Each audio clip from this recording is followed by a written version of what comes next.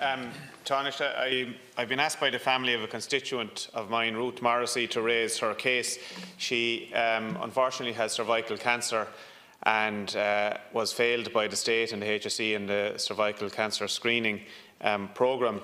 Now, last May, the, the Taoiseach said on the live 6-1 television news in relation to people who had to go to court uh, to seek damages uh, and all the trauma that goes with that.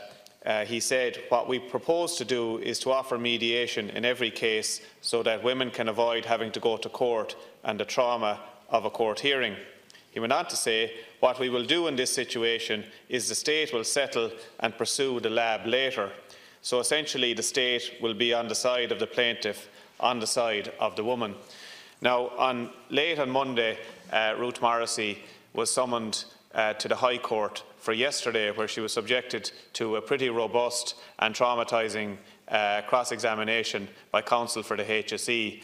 And uh, her family are quite upset about it, and I think it um, draws into question seriously the commitments which were given to the women by the Taoiseach, uh, namely that uh, mediation would be offered. So what I want to ask you is, are, are you happy that uh, the mediation process, which the Attorney-General was supposed to uh, uh, counsel the State Claims Agency to enter into in a meaningful way. Are you happy that that is happening? Are you satisfied that Thank the you, women Deputy. The uh, who have been failed in this regard uh, are being treated sensitively uh, and properly by the State's Claims Honest Agency and that a proper mediation process is Honest being to- engaged in?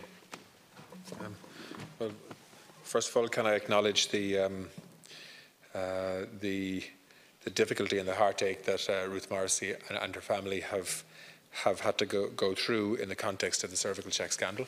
And there are many other uh, victims uh, and families that are in that category too. Uh, and the state's only objective is to try to um, support those people as best we can, uh, to try to keep people out of court uh, and to ensure that there are settlements that are fair, available uh, to, to the women and families involved. Uh, that is why yesterday, uh, on Leaders' Questions, I announced the detail of the ex gratia scheme, which is being set up now uh, under the chairmanship of a, uh, of a retired High Court judge, uh, so that we can ensure um, that families and victims and individuals get the support that the state wants to make available to them. I don't have the exact details in relation to the, to the legal arguments around this case, um, deputies, so I'm, I'm slow to comment on a court case, but I know certainly that the policy direction from the government is very clear here to the State Claims Agency. Uh, we want to try to keep these cases out of court uh, so that people don't have to go through uh, what is an adver adversarial uh, court system uh, in relation to um, assessing the, the extent of, uh, of claims and, and compensation. Okay.